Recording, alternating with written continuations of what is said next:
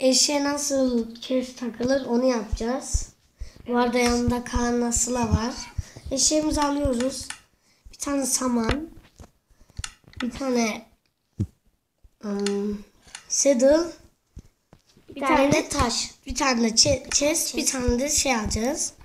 Eşeğimizi bize alışması için şey yapıyoruz, yediriyoruz iyice. Bu arada arkadaşlar merhaba.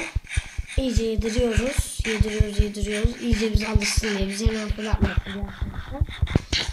Mesela sonra basıyoruz. Hemen şöyle yediriyoruz.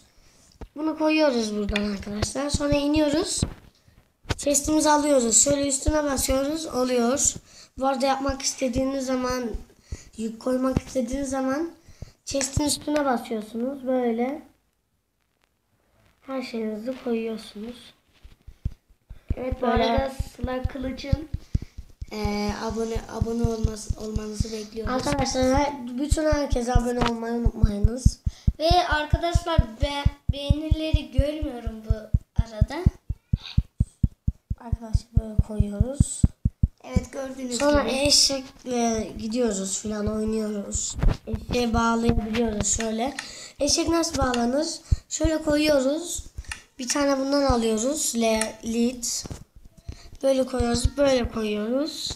Ve eşek hiçbir yere uzaklaşamıyor. O 2 metreden fazla. Evet. Evet arkadaşlar arada eşeğinize ormanda kurt saldırırsa bir tane kaynar kaynar önünüze önüne dökün. Onu, ona öldürür zaten.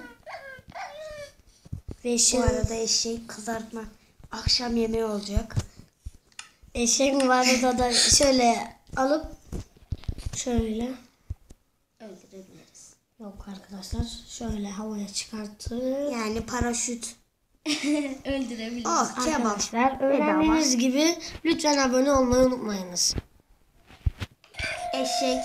Tahtalı köye uğradık. Bay arkadaşlar görüşürüz.